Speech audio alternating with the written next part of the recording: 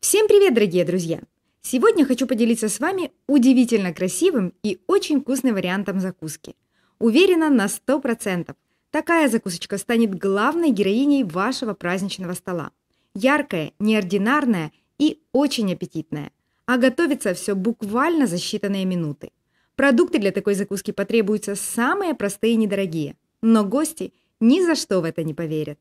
Если вы не первый раз смотрите мои рецепты и не кажутся вам интересными, приглашаю вас подписаться и нажать колокольчик, чтобы смотреть их первыми. Для основы нам понадобятся вот такие мини-багетики. Скорее даже это небольшие булочки. Каждую такую булку я разрезаю на две равных части. После этого срезаю оба края. Нам нужен ровный и устойчивый срез.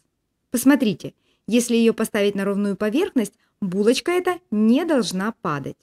Теперь нужно отрезать второй край этого кусочка, но только в этот раз срез должен быть достаточно косым. Посмотрите, вот так в итоге выглядит заготовка. Таким образом я поступаю со всеми булочками. У меня сегодня их 4 штуки, а в итоге получится 8 готовых закусочек. Не обязательно брать свежайший хлеб, подойдет вчерашняя либо позавчерашняя булочка. Ну вот, все готово. На следующем этапе булки нужно очистить от мякоти. Для этого я воспользуюсь обычной чайной ложкой. Стараюсь вынуть как можно больше мякоти, но при этом дно мы должны оставить целым. По большому счету мы готовим хлебную стопочку. Если вам будет удобнее, вы можете убирать мякоть просто руками. Главное условие – сохранить дно этой стопочки, так как мы будем заполнять ее начинкой. Ну вот, у меня все готово. Посмотрите, как симпатично получается. Для того, чтобы закуска была хрустящей и слегка румяной, такие заготовки я подсушу. Для этого выставляю их на противень с пергаментом. Процесс запекания хлеба занимает буквально несколько минут.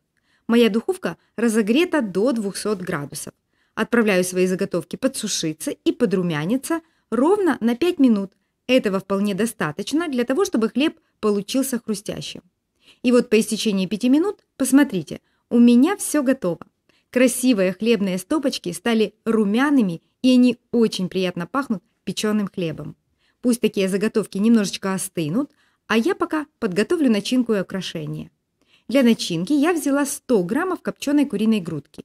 Ее я нарезаю очень мелким кубиком. Чем мельче кубик, тем лучше, так как закусочки у нас миниатюрные, начинка должна соответствовать, и куски в ней не должны быть чересчур большими.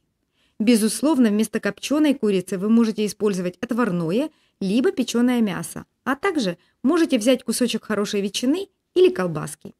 Подготовленные кусочки мяса отправляю в миску. Далее на крупной терке натираю два плавленных сырка. Всегда беру плавленый сыр хорошего качества. Это влияет на результат и на вкус закуски в итоге. Я вам тоже советую использовать плавленый сыр проверенных производителей. После измельчения сырок отправляется к курице. К этим ингредиентам я сразу пропускаю через пресс 2-3 зубчика чеснока. Люблю, чтобы присутствовало достаточное количество чесночка, поэтому кладу немало. Если вы не приемлете чересчур чесночный вкус, можете взять один зубчик. Начинка практически готова, осталось ее заправить. Я добавлю 2 столовых ложки домашнего майонеза. Я считаю, для такой начинки это идеальный вариант. Осталось все тщательно перемешать. Безусловно, вместо этих продуктов вы можете взять те, которые нравятся вам, и приготовить свой вариант начинки. Я сегодня хочу поделиться с вами идеей, а далее вы вправе экспериментировать и что-то менять. Начинка готова, осталось украшение. Для этого у меня есть одна морковь, один перец и несколько перьев зеленого лука. Морковку я предварительно очистила и теперь нарезаю небольшой тоненькой соломкой. Чем тоньше будет соломка, тем изысканнее и интереснее будет смотреться закуска впоследствии. У меня это совсем небольшие, я бы даже сказала, миниатюрные брусочки. Количество таких брусочков вы можете нарезать по своему вкусу. Красный перчик, предварительно очистив, я также нарезаю небольшими ломтиками. Опять же хочу повторить, чем тоньше ломтики, тем симпатичнее будет выглядеть закусочка. Я сегодня взяла красный сладкий перец, но вполне подойдет желтый или зеленый перчик. Перья зеленого лука я также нарезаю. Делаю это немножечко наискосок, чтобы они красиво смотрелись на закусочке. Высота всех таких кусочков и брусочков около 3-4 см. Помимо лука, моркови и перца вы можете использовать еще какие-то овощи, либо зелень. Это могут быть, к примеру, кусочки свежих огурчиков, молоденькая зеленая спаржа, соленый огурец. Хочу повторить, здесь все зависит от ваших предпочтений и фантазий. Ну вот, все составляющие закусочки готовы, осталось ее собрать.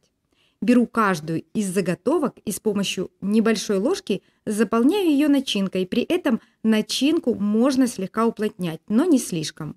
На каждую такую заготовку у меня уходит где-то 2, максимум 3 чайных ложки. Посмотрите, уже просто с начинкой закуска смотрится очень аппетитно. Давайте сразу украшу ее, к примеру, перцем и посмотрим, как она выглядит в целом. Беру несколько ломтиков красного перца и устанавливаю вертикально, при этом немножечко вдавливая в начинку. Между перцем делаю небольшое расстояние, чтобы закуска смотрелась аккуратнее и интереснее. Ну вот, посмотрите, так закуска выглядит уже в готовом виде.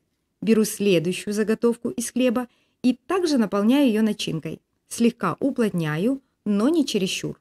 На этот раз немножечко перьев зеленого лучка. Мне очень нравится, как получается на выходе. Яркие, прекрасные цвета, сочные и неповторимые. Следующую хлебную заготовочку заполняю начинкой таким же образом. И в этот раз украшаю морковкой. Абсолютно по тому же принципу, что и ранее. Посмотрите, три одинаковых закуски, но с разной начинкой. Как они заиграли. Уверена, такая закуска не оставит равнодушным никого из гостей. Таким же образом я поступаю со всеми остальными заготовками, заполняю их начинкой, а затем украшаю. Хочу заметить, что вместо белого хлеба, который я сегодня использую, вы можете взять какой-то отрубной или даже черный. Хочу повторить, я сегодня даю вам идею, а ваше право экспериментировать и творить. Ну вот, все мои закуски готовы. Посмотрите, как нарядно смотрятся эти закусочки. При очень простом перечне продуктов, я считаю, мы сотворили с вами красоту. Эта тарелка однозначно украсит любой праздничный стол. Я очень рекомендую вам приготовить такую закуску на праздник. Калорийность этого блюда 239 килокалорий на 100 граммов. Хочу напомнить, что количество всех ингредиентов, которые я использую в этом рецепте, я уже указала в описании под видео. Мне будет очень приятно, если вам понравился такой рецепт и это видео. Готовьте такую закуску и радуйте родных, близких и гостей. Ну а я от всей души хочу пожелать вам стройной фигуры и приятного аппетита. Не прощаюсь с вами, увидимся в следующем видео.